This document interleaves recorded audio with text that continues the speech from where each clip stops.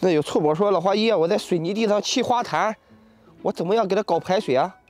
有的臭宝肯定是因为啊，那是问到老花姨知识网去了。这个没有，我跟你说，我们自己也砌了花坛，还是老花姨亲手砌的呢。这关于排水的，你看看前面我那个，我这个砖，你看到没？正好是这种锯齿状的，我们是这样斜着放进去的。哎呦，这个弄不动啊，有点重吧？哎哎哎，你看，就这样摆进去的这个砖，不好拿，不好拿。给你看看这个，啊，都动了，这边不都有打开的吗？这能看到吗？这种锯齿状，是吧？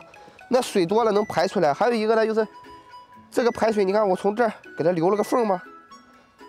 它不就排下去了吗？对不对？来到这边也是一个道理啊。到了这边还不是另外一个道理吗？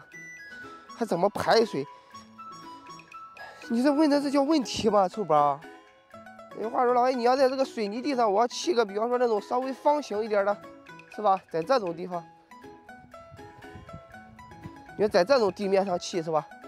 砌了以后排水，它肯定是从底下排出去啊。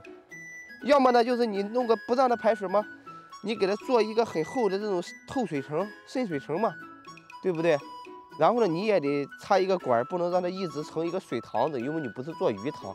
做鱼塘跟做花坛的区别就是这个了。所以说呢。这么高的一个透水层，里面可以放什么呢？砖头、瓦块之类的东西，专门用它来储水，明白了吗？所以说懂这个事儿就行了。这还叫问题吗？臭宝真的是。好了，要不说记得点个关注。需要砌花坛的臭宝，准备好饭，老花姨去可以给你砌。